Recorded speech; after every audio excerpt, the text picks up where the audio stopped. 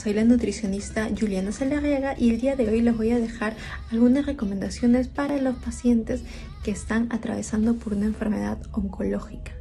Es sumamente importante el tipo de alimentación que se va a llevar en este tiempo.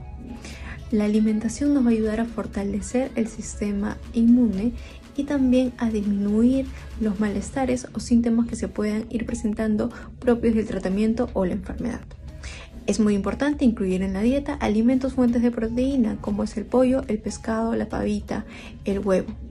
También debemos incluir algo que nos brinde energía, que son los carbohidratos, que tenemos como la papa, el camote, la quinoa, el trigo. Y desde luego también tenemos que incluir una grasa saludable, que puede ser el aceite de oliva o el aceite de sachaichi.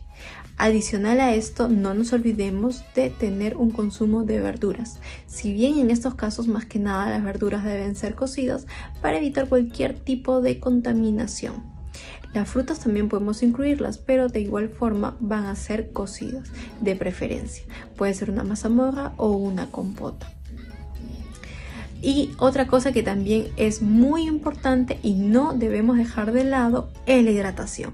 La hidratación nos va a ayudar muchísimo, sobre todo si estamos pasando por un tratamiento activo.